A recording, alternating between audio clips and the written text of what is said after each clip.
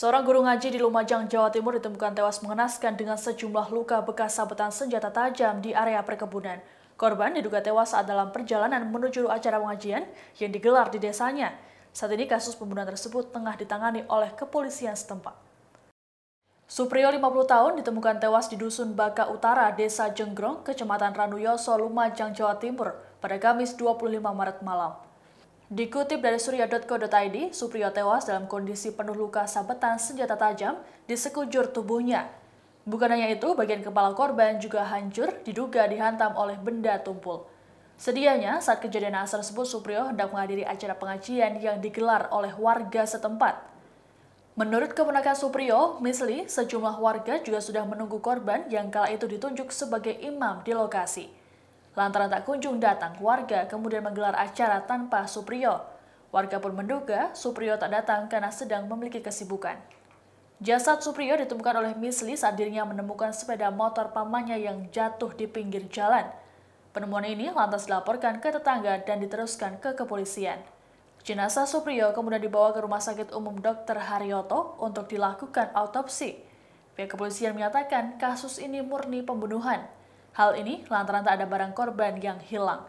Sejumlah saksi pun diminta keterangannya untuk mengungkap pelaku pembunuhan.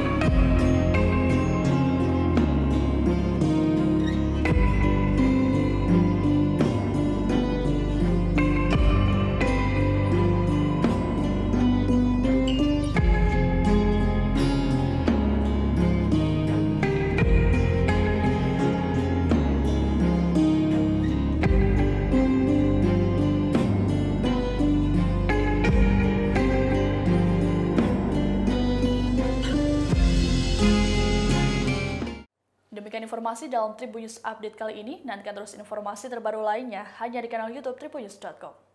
Terima kasih sudah nonton. Jangan lupa like, subscribe, dan share ya.